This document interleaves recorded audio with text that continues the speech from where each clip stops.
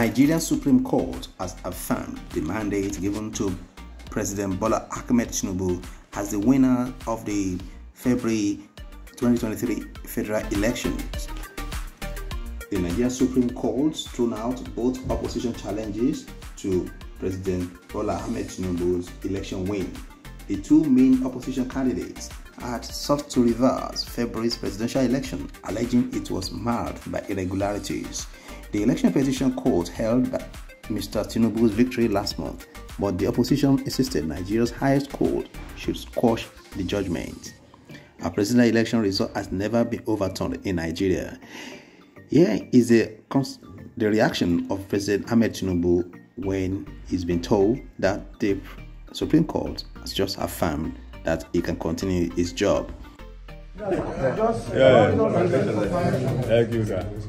Congratulations, Your Excellency. Your job is secure. Spoke to, spoke to, sir. Spoke to, sir.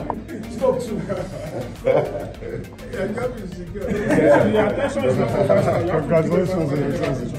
Gentlemen, gentlemen, what? Congratulations, Mr. President. Having been confirmed by the Supreme Court as the five-star general. Yes. As the Commander-in-Chief of the Armed Forces of the Federal Republic of Nigeria. Thank you. Thank you. Congratulations, Your Excellency. Congratulations.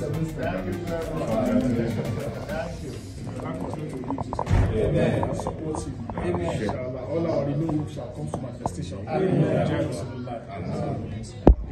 All your job is secured. Let the President Let, let him go. Let, him, let the The president. message says, and I quote, It is my view that there is no merit in this appeal and it is hereby dismissed.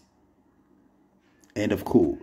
That is from Justice John Inyang Okoro of the case made by Mr. Abubakar People's Democratic Party.